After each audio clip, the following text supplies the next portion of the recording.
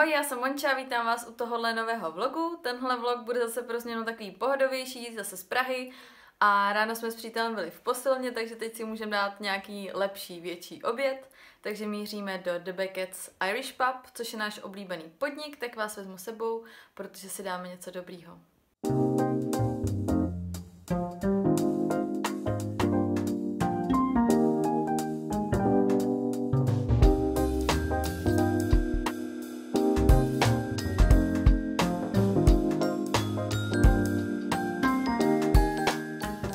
Beckett's Irish Gastropub se nachází nedaleko náměstí Míru a kromě toho, že tu točí Guinnesse, tak zde vaří převážně britsko-irskou kuchyni. Já jsem si k obědu objednala 16 kusů kuřecích křidílek, které měly ve dvou příchutích, a to Sweet Asian a Hot and Spicy.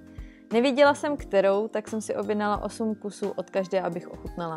Obě příchutě mi moc chutnaly, ale přece jen o trochu víc mi chutnala ta Sweet Asian, která byla správně sladko-kyselá. Přítel si objednal mac and cheese s trhaným vepřovým masem, papričkou jalapenos a česnekovou bagetkou. Jídlo bylo prý úplně dokonalé, protože jemnou chuť síra s těstovinami skvěle vyvažovalo kořeněné maso a pálivá paprička.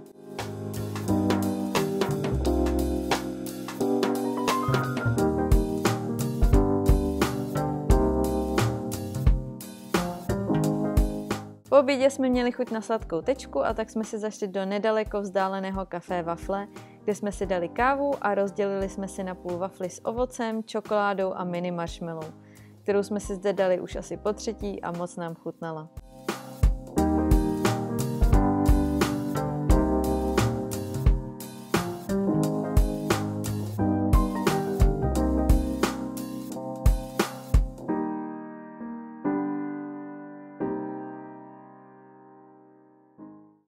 Takže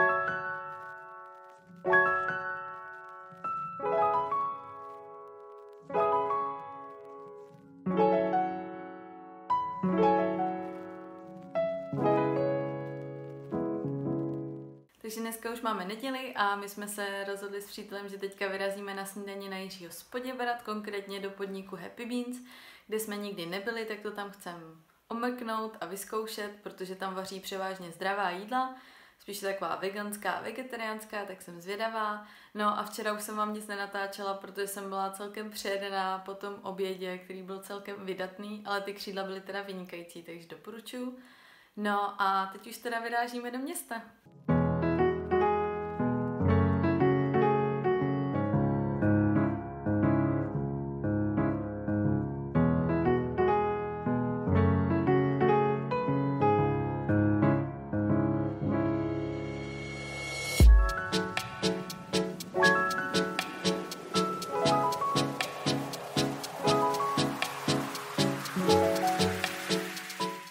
Podnik Happy Bean se nachází na náměstí Jiřího Spoděbrat a je to veggie bistro. Vaří zde z čerstvých kvalitních surovin a vše si vyrábí sami. Z menu jsme si vybrali jejich top jídla. Přítel si objednal lívanečky z pohánkové mouky s vanilkovým krémem. Lívance byly průměrnější a bylo jich opravdu málo, protože přítel po nich měl stále hlad.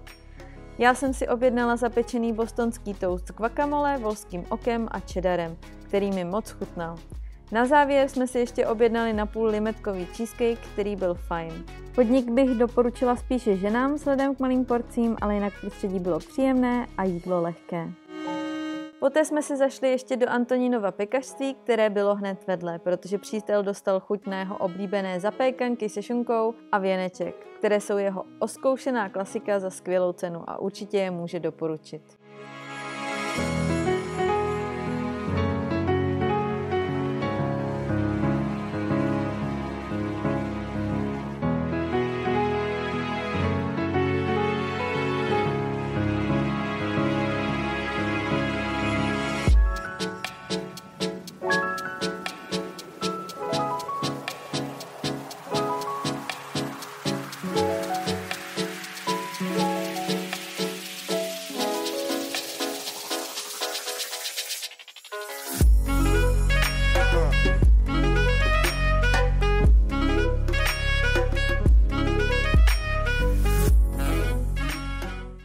Už máme půl páté odpoledne, přítel teďka luxuje, nevím, jestli to slyšíte, ale odešli nám pejsci, Takže už jsme zase bez písku a musíme uklidit všechny ty chlupy, které nám tady nechali. A já se teďka chystám vařit takovou obědo večeři, protože snídaně byla celkem vydatná, takže jsme odpoledne neměli hlad a chystám se teda dělat eh, zelené kary s krevetama. Bude to zase takový můj recept, takže spíš taková inspirace pro vás na zelené kary, ale z toho hlavního receptu, vlastně originálního, jsem se vzala jenom ty hlavní ingredience, ale jinak to zase uvařím podle sebe.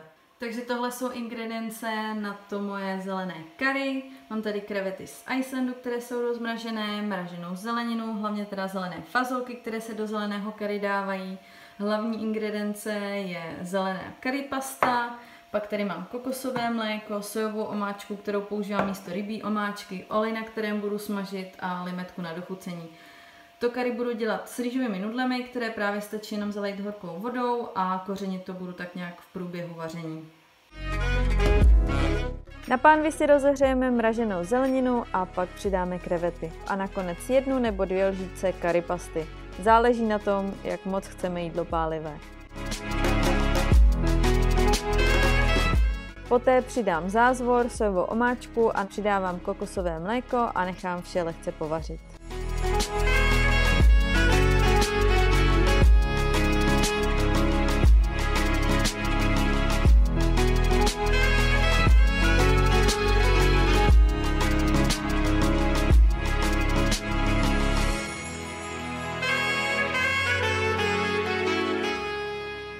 No takhle vypadá kary, když už je hotové a já už ho teďka jenom zakápnu limetkou a jdeme jíst.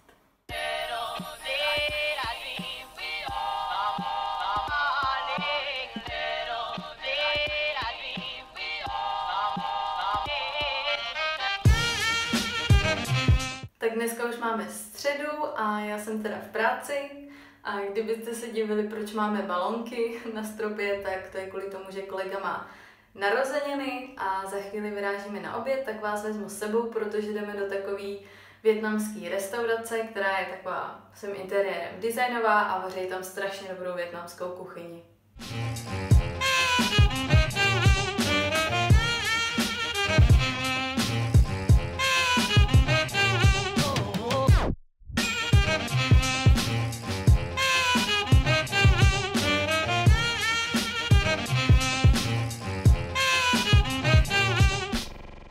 Kavárna Café se nachází v Holešovicích a jak už jsem zmiňovala, tak má nádherný interiér. Z jídelního lístku můžu doporučit krevetové závitky a bumbo nambo, což jsou rýžové nudle s hovězím masem a zeleninou. Jídlo je podávané studené, voní krásně po blinkách a je opravdu čerstvé. Tohle jídlo je jedno z mých nejoblíbenějších za poslední rok, takže určitě můžu doporučit ochutnat.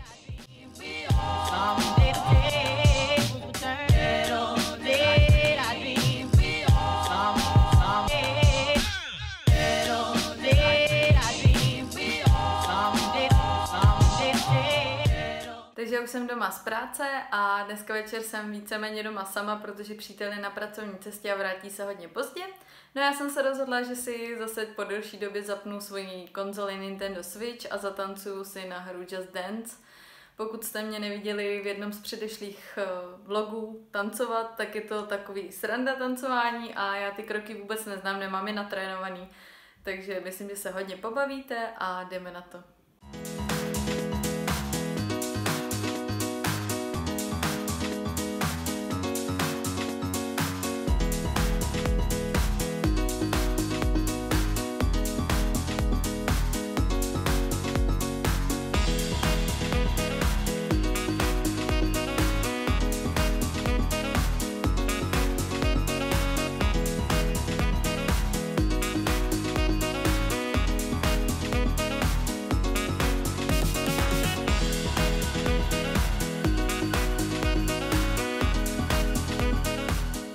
Já už jsem teďka dotancovala a doufám, že jste se u mých tanečních kreací pobavili. Už je skoro tři čtvrtě na osm, takže si budu dát večeři.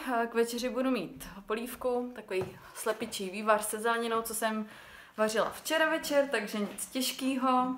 Takže takhle vypadá ten můj vývar, co jsem dělala včera. A mám tam i vajíčko, kromě teda zeleniny a toho vývaru. A až se to bude vařit, tak tam přidám ještě tyhle ty rýžové nudle a to bude pro dnešek celý vaření, takže opravdu nic těžkého. No a takhle vypadá můj vývar s nudlem, já ho současně budu jíst asi lžící a současně i hůlkami, protože jsem to možná s těma nudlema trošku přehnala, ale nevadí, určitě to bude dobrý. To už je teda pro dnešek všechno a současně je to i všechno pro tenhle ten vlog. Já vám moc děkuju, že jste si ho zapli a dokoukali jste ho až sem. Budu moc ráda za každý váš like pod tímhle videem a budu vám moc vděčná, když budete sdílet tohle video na sociálních sítích, aby se dostalo k více lidem. Současně budu taky strašně moc ráda, když eh, budete můj kanál odebírat, protože mě to moc podpoří a já se na vás budu těšit u dalšího videa. Mějte se krásně. Ahoj! Hey.